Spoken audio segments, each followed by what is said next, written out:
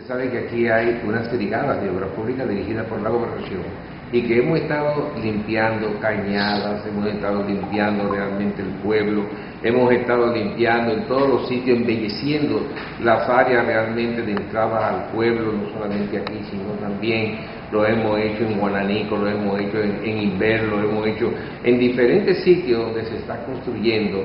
Nosotros comenzamos a embellecer con esas brigadas Hoy, obviamente, por el paso del huracán nos hemos concentrado a hacer ya limpieza de escombros. Nosotros hemos estado en Sosúa, en, los diferentes sitios, en otros municipios, tampoco de lograr realmente que salgan de la calle, que salgan de las vías públicas todos aquellos escombros que pueden estorbar. En Puerto Plata, particularmente, que es una ciudad turística y que recibimos turistas de manera permanente, nosotros hemos también tratado de lograr esto y asimismo los barrios que tienen muchos problemas y que han tenido muchos problemas. Eh, las brigadas han estado permanentemente desde el mismo día del ciclón, antes del ciclón trabajando la limpieza, durante el ciclón una hora después comenzamos a hacer la limpieza y, hemos estado permanentemente desde que pasó el ciclón sacando escombros de la calle, han sido toneladas de basura lo que nosotros hemos realmente llevado a los vertederos. Puerto Plata en sí se ha convertido en un vertedero, porque hoy en día hemos visto que los barrios todavía están inundados de basura. Vi la importancia que ha tenido el ayuntamiento de hacer un esfuerzo, eh, aunque cinco días después, obviamente, comenzaron a hacer un gran esfuerzo ellos, pero ya pasaron cinco días y la basura se, se comienzan a secar y comienzan a producir muchas hojas y se riega en la calle. De todas maneras, Obra Pública se mantendrá, se ha mantenido trabajando y no nos pararemos. Nosotros hemos intervenido muchas calles, hemos intervenido la parte del malecón, hemos intervenido la parte de lo que es el INDI, eh, la Cardenal Sancha, hemos tenido los cocos. Nosotros hemos intervenido en muchísimas partes de este pueblo.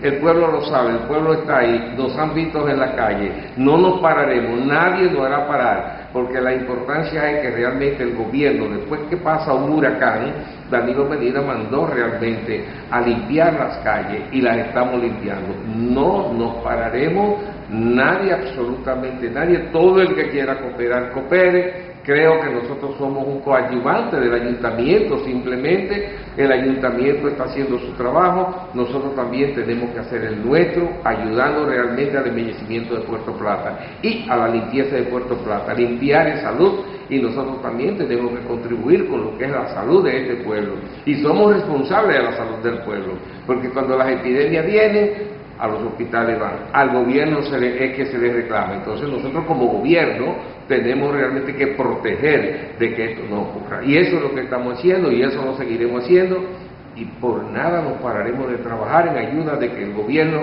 salga bien. Mire, eh, los levantamientos las personas están recibiendo ayuda. Nosotros estamos haciendo levantamientos en toda la provincia y yo te podría decir que inmediatamente el paso del ciclón eh, se hizo, los techos se comenzaron. Nosotros fuimos a Loma de la Bestia y allí eh, pudimos eh, levantar 22 casas que se habían afectado con los techos y otras tres, que se, cuatro que se habían, o dos más, que se habían destruido totalmente. Ya el INVI tomó carta en el asunto, ya el INVI ese mismo día comenzó a, proteger esos techos y comenzó inmediatamente a producir un efecto de, de, protección a esa gente, creándole realmente los techos nuevos. Ahora bien, asimismo lo estamos haciendo en toda la provincia. Nosotros estamos realmente eh, trabajando a todos los niveles. Fuimos a trabajar indudablemente a Altamira, donde también se fueron unos techos, hemos ido a hacer levantamiento en toda la provincia, estamos recibiendo los levantamientos